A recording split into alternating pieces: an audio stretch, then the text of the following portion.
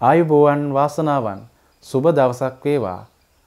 ඔබගේ හද දෙනු YouTube චැනලය හරහා ඔබ හා සම්බන්ධ වන මම ජෝතිෂ විද්‍යා විභූෂණ ජෝතිෂවේදී ගයන් සෙනරත්තාරච්චි. ඔබගේ හද දෙනෝ YouTube චැනලය හරහා ඔබට මම මෙතෙක් මාසික ලග්න පලාපල සති ලග්න පලාපල වාර්ෂික ලග්න පලාපල සිංහල අරුත් අවුරුද්දට ලග්න පලාපල ඔබට ලබා දුන්නා. අද මම සූදානන් වෙන්නේ දෙදස් විසිතුන වර්ෂයේ ජුනි මාසයට අදාළ ලග්න පලාපල විස්තරයක් ගෙනීමටයි.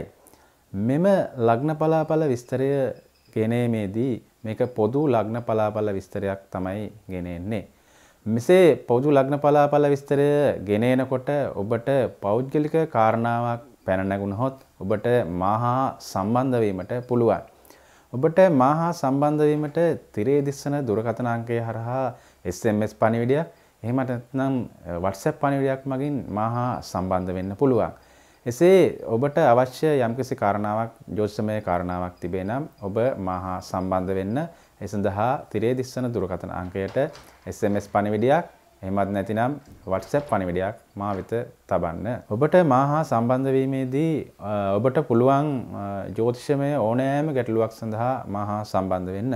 ඒ සඳහා උපත්ති ජන්මපත්‍ර සාදා දීම, නාම උපත්ති දරුවාට නාමාක්ෂර ලබා දීම, ඒ වගේම සුබ මුහූර්තයක් සාදා දීම, මංගල නැකත් පත්‍රය සාදා දීම, මල්වර නැකත් සාදා දීම ඒ වගේ ඔබට අවශ්‍ය කරන ඕනෑම ජ්‍යෝතිෂමය වැඩ කටයුත්තක් සඳහා මාහා සම්බන්ධ වෙන්න පුළුවන්. ඒ සඳහා ඔබට කරන්න තින්නේ තිරේ දිස්වන දුරකථනාංකයට SMS පණිවිඩයක් හෝ WhatsApp පණිවිඩයක් තැබීම පමණයි. අද දවසේ ඔබගේ හද දිනු YouTube චැනලය හරහා මම ජුනි මාසේ ලග්න පලාපලයක් ගෙනීමට සූදානම් වෙන්නේ මිතුන රෙසින් නිපදුන ලග්න හිමියන්ට අපි බලමු ජුනි මාසය කෙසේ බලපාවිද කියලා.